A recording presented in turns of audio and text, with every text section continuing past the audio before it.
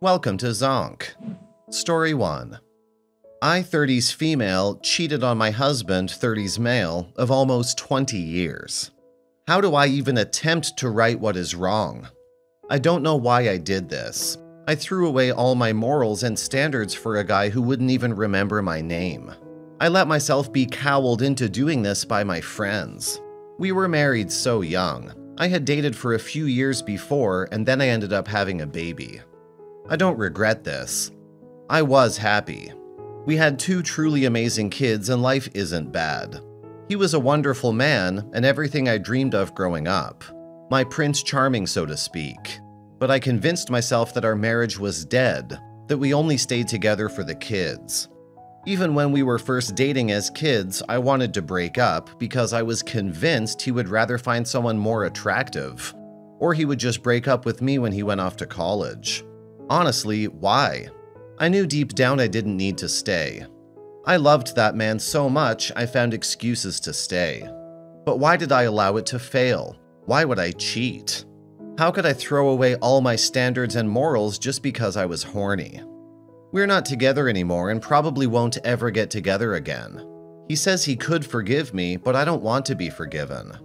I told our kids the truth that I was unfaithful. I don't want them to think actions have no consequences. I don't want them to think less of me.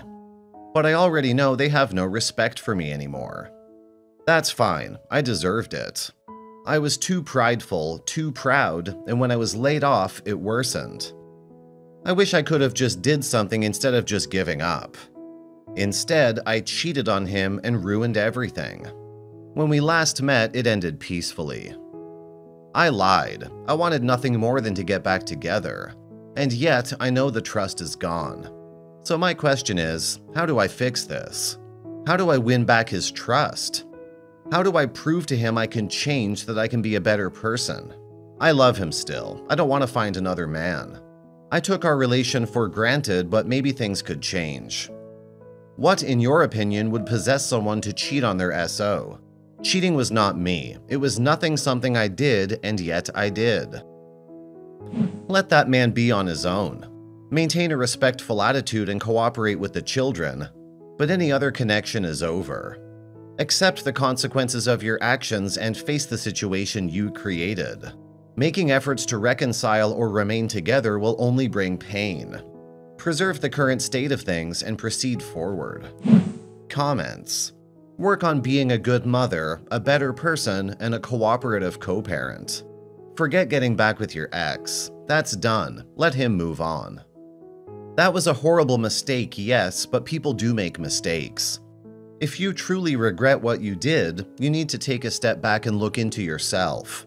What led you to feel this way throughout the relationship? Does it have to do with low self esteem? If so, there may be underlying issues, and for now, you should look into some therapy for yourself. Work on yourself and work on your relationships with your kids. It will take a while for them to regain your trust, but show them you're trying. Don't slip back into old habits and focus on your family and becoming a better person who loves herself. As for your ex, try not to worry about getting back together.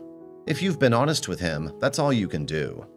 If you really mean it, then first try becoming friends again and building up the trust. It will take some time, so don't expect a reunion soon. Try days out together or interests, but always just as friends. If he can get over this, then maybe in time you could rebuild some sort of relationship. But friendship is maybe all you can hope for from him. Story 2 My boyfriend and me have been in a relationship for a year and a half. We met at school, he was my first ever boyfriend, he's basically my first everything. He's always been very into gaming, but like a lot. It's always been a problem of ours. Often he just starts gaming and forgets I even exist. I sort of feel more like a mom to him than an actual girlfriend, and maybe that's why I cheated on him. My boyfriend always used my pictures on his gaming profiles because being a girl gains a lot more attention on video games. During the summer of 2019, he started playing a game on a private server, and for some reason he was really invested. He wanted to be a part of the staff, so he started texting a lot of these people and being really active on the server. One of the developers, 24 male, saw my pictures, and I guess he was interested in me. So my boyfriend wanted me to start talking to this guy so he could get free stuff. He wanted me to make him fall for me, and so I did. The thing is, I started to get feelings too. All the attention I was never getting from him gaming, this guy could provide. We started talking a lot on Snapchat, but towards October, I just cut him off completely because I felt like I could be unfaithful to my boyfriend. Time passes, and all I can think about is the other guy. Towards December, I decide to message him again without my boyfriend knowing, and we connected for real.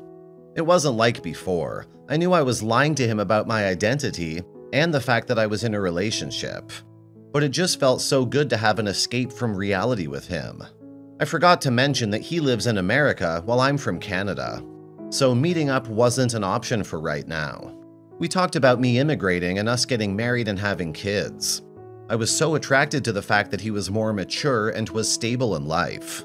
We definitely both developed feelings, but I knew deep down that I was lying to him. I knew I had to tell him that I wasn't this gamer girl, and so I did. I lied in the story to tell him that I had already broken up with my boyfriend. To my surprise, he took it very well. He didn't mind, it even made our bond stronger. My boyfriend eventually caught on to the fact that I was acting suspicious. He confronted me and I told him about everything. In my head, that relationship was over, but we just started to hold each other and cry and talk about how we love each other. In my mind, I thought I wanted to be with him, but I guess it was just the emotions. He made me block the other guy. I sent him a long text telling him sorry for everything. He still responded fairly well and said that he would always be there for me. Right now, after a few days, I think I don't want to actually be with my boyfriend, but rather with the other guy. And I wanted to know how to tell him. I've hurt his feelings a lot in the past couple of days, and I know I have to do this quick because I want to get the other guy back. I don't know what to tell him, and I would really need advice. I know what I did was wrong, and that should have ended the relationship sooner, but it's easier said than done. Comments it seems like the situation you described is quite complicated and emotionally challenging for everyone involved. Cheating and maintaining dishonesty in a relationship can have serious consequences and cause significant pain. It's essential to reflect on your actions and take responsibility for the choices you've made. Moving forward, it's important to communicate openly and honestly with your current boyfriend. Sit down with him and have a sincere conversation about your feelings and the realization that you no longer want to continue the relationship. Express your regret for the pain you've caused and explain that you've come to a decision that's best for both of you. Story 3 I've been with my boyfriend for five and a half years. We have had a lot of bumps along the way, but we've always seemed to work things out. He has cheated on me once that I know of, but I forgave him for it. We've been long distance about 90% of this relationship, and it's starting to get difficult. I'm 24 and he's 23, so we started dating fairly young. He says he's going to move to where I live end of summer, but I don't know what I want anymore. This is because I recently cheated on him with a coworker who I really have a big crush on. I did it because I'm getting tired of long distance and I feel like things aren't heading anywhere with my boyfriend. Since we've always been long distance. Plus, I was drunk. Me and the man I slept with have hung out three times and slept together once the third time we hung out. Now, here's the catch he has a girlfriend of three years. He hasn't spoken to me since we slept together, and this leaves me utterly confused. I have this huge crush on a guy who apparently used me. I feel embarrassed about what I did. I haven't told my boyfriend, and I just don't know what this means. I really want to contact the guy I slept with, but I don't want to look clingy. But I want to know why he stops talking to me. I'm a horrible person, I know. Cheating is wrong and I'm not proud of what I did, so please be kind with your words. Please help me work out my spiraling emotions and do the right thing. Love is complicated, and as humans, we make mistakes. However, if you're unsure about what you want, it's better to break up with your boyfriend instead of leading him on when you're not fully committed. It sounds like you're highly infatuated with the other guy, indicating that there might be issues in your current relationship.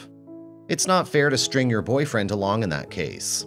My suggestion would be to take some time for yourself, explore other options, and get your life in order before committing to another relationship. By the way, the other guy doesn't sound like a good match for you. Even if you cheated, you don't need someone like him in your life. It won't bring you any positive outcomes. Comments I'm so sick of people saying I got bored with long distance so I cheated but I still want it to work. If you wanted it to work, you shouldn't have cheated. Yeah, it sucks being LDR, but if you're gonna do it, at least have the balls to stick with it and be honest with the person. You had a one night stand with a coworker who obviously doesn't give a shit, and a boyfriend you don't deserve. I'm sorry I'm being a dick, but you put yourself here.